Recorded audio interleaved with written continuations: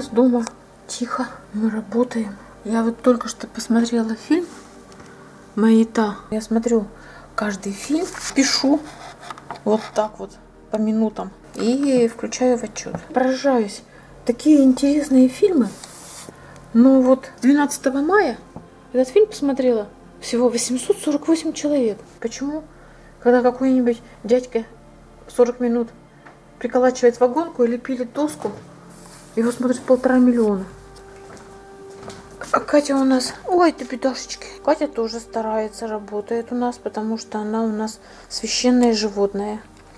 Она формирует мир и благополучие в нашем доме. Ну, мир уже есть, благополучие, э, вот она только старается. Андрей Викторович с утра до вечера, как вскакивает в 7 утра, так сразу садится. Сейчас Андрей Викторович делает тайную работу, о которой мы потом расскажем, если все получится. Сегодня 20 мая. Сегодня была первая ночь в этом году, когда мы не включали отопление. А еще какие новости? В связи с тем, что Зеленский сегодня перестал быть президентом. Ну, тоже новость. Тоже И погиб Раис. Раиси, Раиси. президент Персии. Слушай, а вот Есенин ездил в Персию еще в 20-х годах. Это было как? У них статус какой был? Персия. Шагане ты моя, Шагане. Потому что я с севера, что ли? У нас мало кто задумывается о том, почему в 43 году конференция проводилась в Тегеране. Вот. А Даже- потому что Тегеран, несмотря на то, что был формально независимой страной, он был под протекторатом Российской империи, и Советский Союз после развала э, империи, а, он сохранил свое влияние в Персии. И в Тегеране стояли советские войска.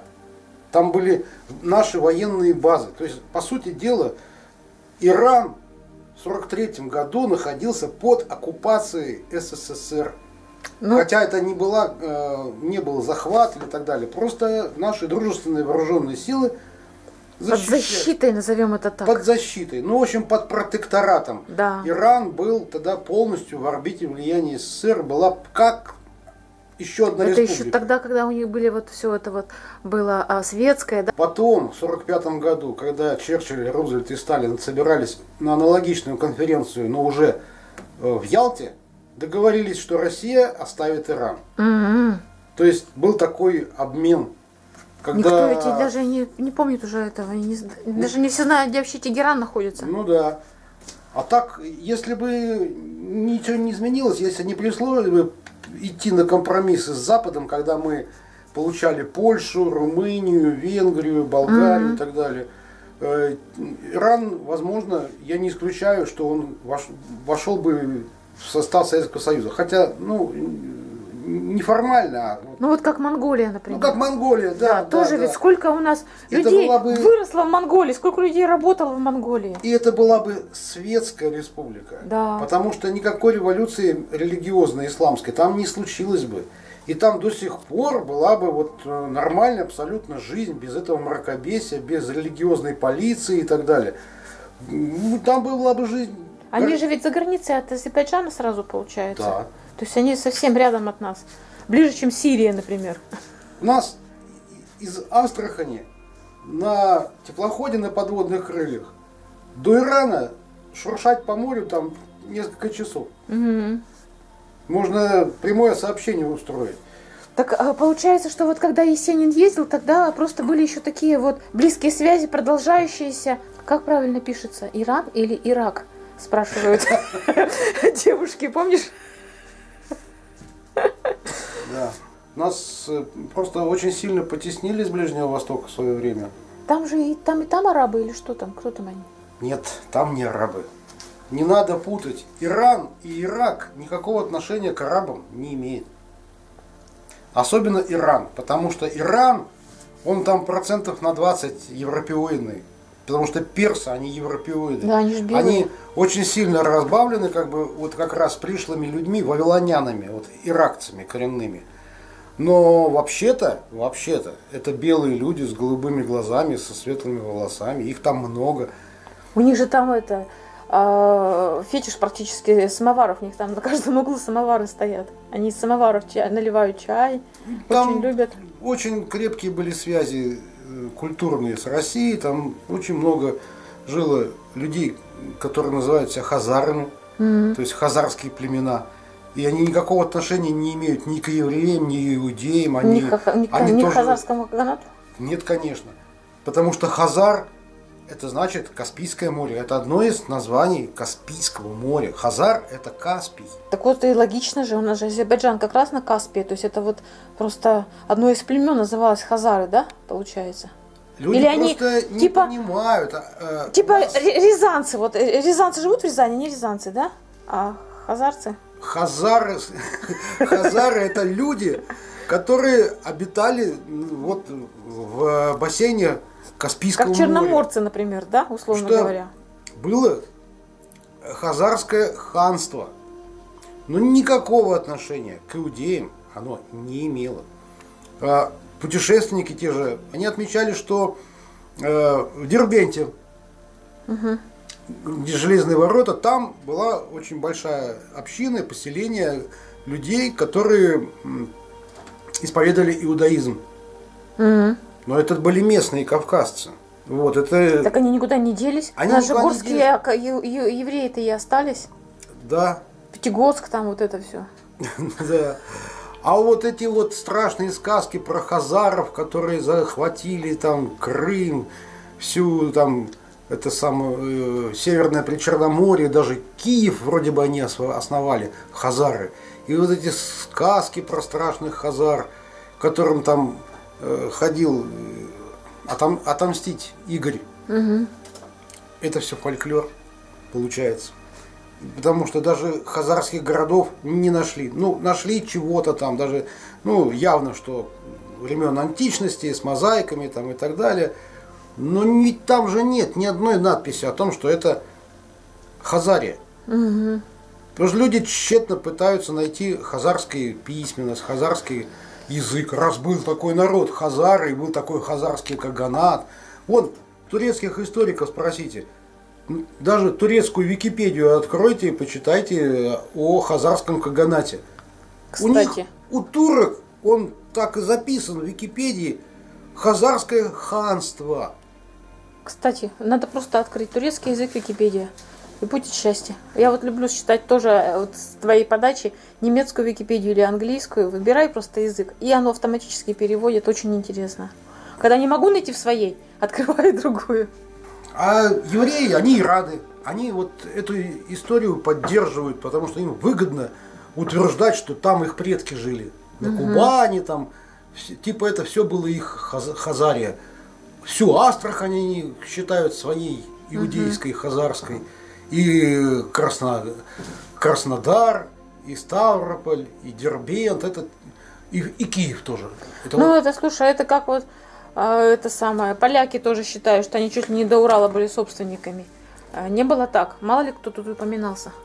Когда, допустим, находят а, т- вот Римскую империю, там же тоже вот находят мозаику, там же не написано на мозаике Рим. нет. Там же тоже они просто предположения делают. Так же, как и про Шумер, про которых мы вчера вот начали смотреть.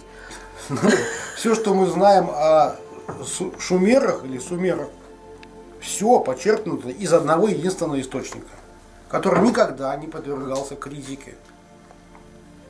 Этот источник некий Джон Смит, который, э, ну, понимаете, Джон Смит это Иван Кузнецов.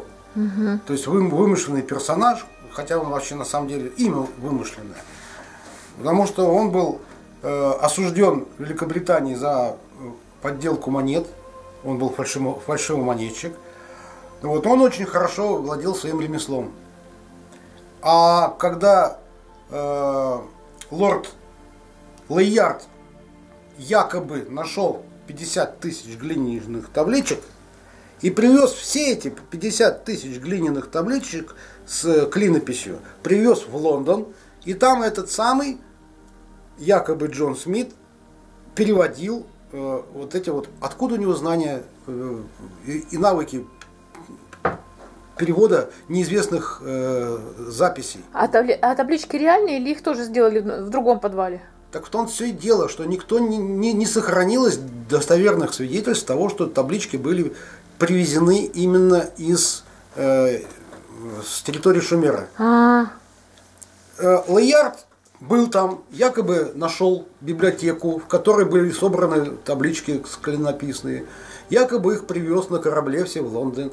И там в Лондоне они там вдвоем со Смитом переводили. И оттуда мы знаем всю историю Шумера, про всех царей, я про задам, их религии. я про- задам глупый вопрос, ну, наверное, еще несколько, может быть, девочек а, такой же вопрос зададут.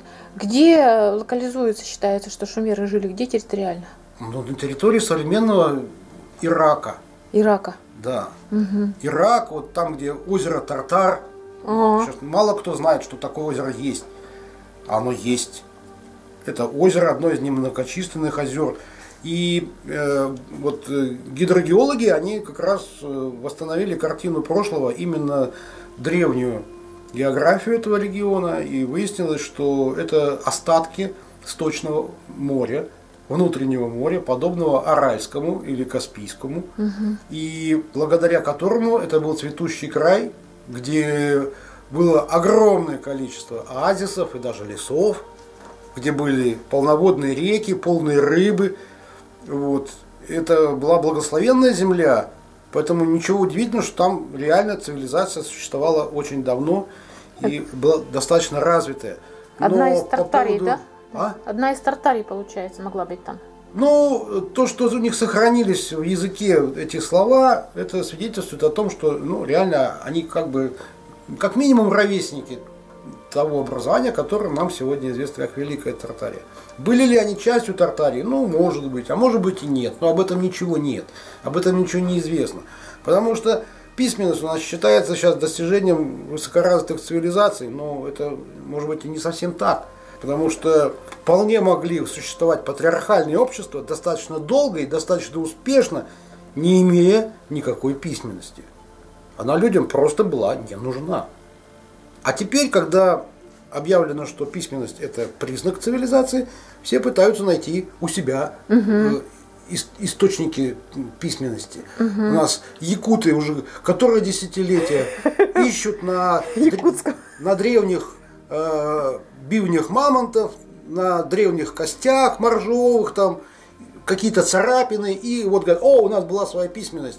Но ничего не получается, не складывается. Это все случайные царапины, которые никак не, не систематизируются. Не, не, не, не, удается доказать, что это письменность якутская древняя. Не было у них письменности, она им не нужна. Она была им не нужна. Все, что им нужно было передать, достаточно было иметь в головах. Ну и были, я так понимаю, что был такой период, когда вот помнишь, мы читали, вот я у тебя, я лично в твоей книжке читала, что а, могулы, а у них письменность была буквы уйгурские, да? Они заимствовали э, систему записи своего языка у уйгуров, потому Да. что у уйгуров она уже появилась, а у тартар ее не было. И, а как вы это делаете? Ух ты, блин, значками же можно Да. писать слова и Ну да. фразы. И начали писать. Да. И вот, и все, и как бы все нормально. Кто-то был э, один из первых, кто начинал писать. Но по поводу клинописного письма, это, мне кажется, абсолютная такая залипуха. Она, ну, ну, очень дурно пахнет эта идея, потому что все... Там можно придумать свой просто язык из этих вот значков, да? Так вот, в том-то все дело, что Смит, он, скорее всего, эти таблички не расшифровывал, он их изготавливал. М. Такое огромное количество табличек, они все якобы привезены из, Ир- из Ирака. Скорее всего, они были изготовлены прямо там, в Англии. Он их не переводил, он, он их создавал.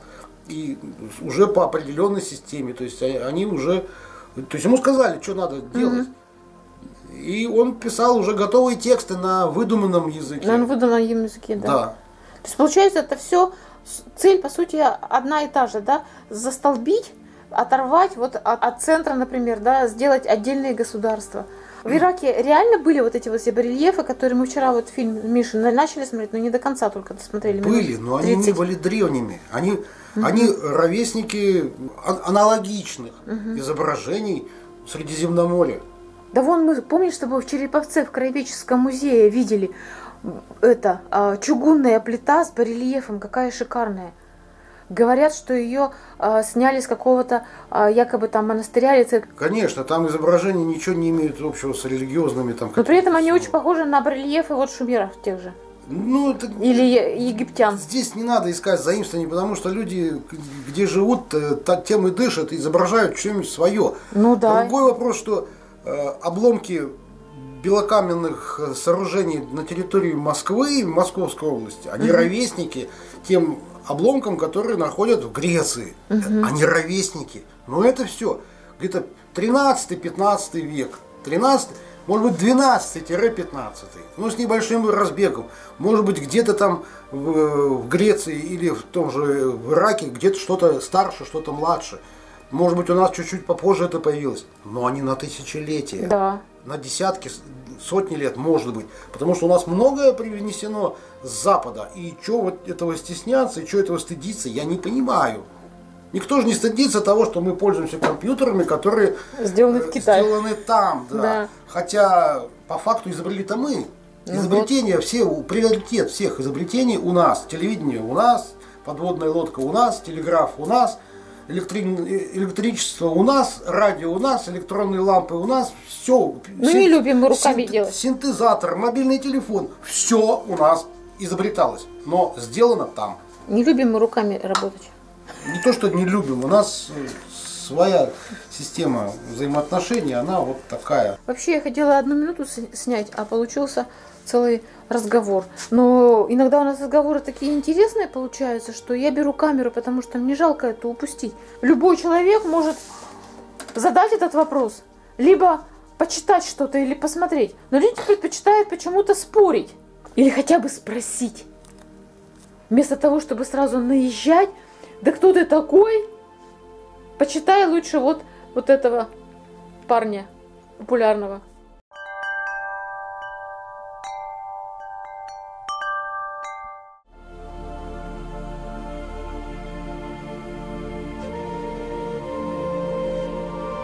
Пишите, пишите.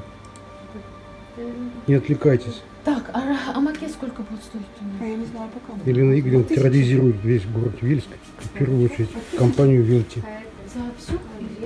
Мы, э, чтобы журнал не трепать, э, мы заказали печать листов. 62 рубля стоит каждый листик.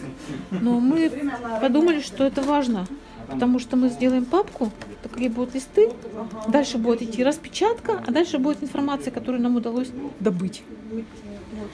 Где-то там Елена Игоревна мучает Юлю с красками. Вот мы даже смотрим уже дом Переславль-Залесский. Видишь, слишком белый. Мы Мгм. такой белый не хотим. Нам нужен тон Бл- Black Lives Matter. вот такой вот. Вот я бы сказала, судя по фото, я бы даже вот на этот пошла. Нет, цвет. это желтый будет. Вот этих два. Но Какой из них? Этот? нет, пониже которого. Вот этот? Да. Чтобы он э, не был очень белым, да? Ну, Ну, кстати, да, вот неплохо второй это вариант. шел третий час выбора краски. Юля нам еще близка потому, что все детство она играла в школе в деревне Горы, которая М. сейчас заброшенная.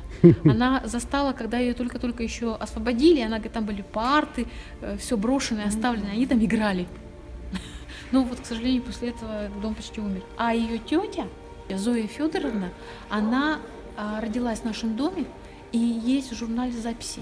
Поэтому я к Юле пристаю, Вон чего. да, потому что а, Зоя Федоровна, к сожалению, умерла. Мы вот не успели Не застать. Она давно. совсем недавно, да, а, вот э, в апреле. Дети ее в Казахстане живут. Она вышла замуж за мужчину по фамилии Сарсенбаев. Увезла нашу породу туда, в Казахстан, улучшать. Все потом запишу в журнал. Мгм. Такая же гайка. Что-то капец как.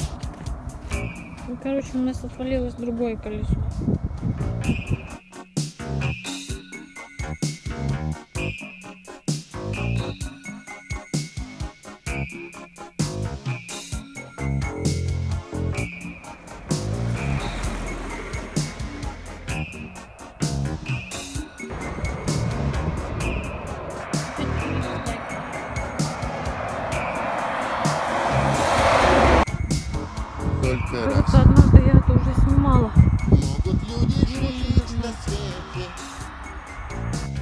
Слышишь, человек земли, только раз тебе даны Чё, просторы эти. Шорох звезд и свет Ой, умное колесо у нас. Само ездит.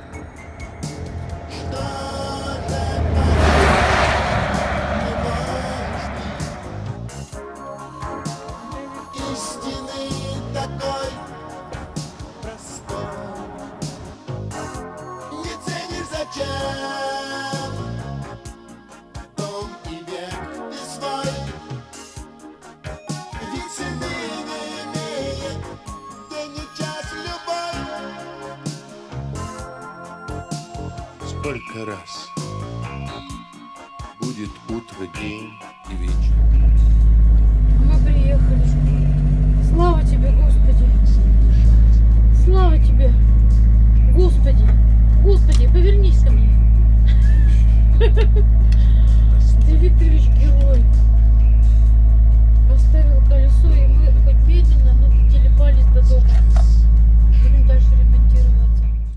Губернаторский центр Архангельской области участвует финансово в создании экспозиции, посвященной истории Судромской больницы, находившейся в доме с 1930 года, и судьбам жителей села, родившихся в этой больнице. Второе – это фонд президентских грантов, который поддержал поисково-исследовательскую и экспедиционную деятельность Дома сохранения истории Инрок.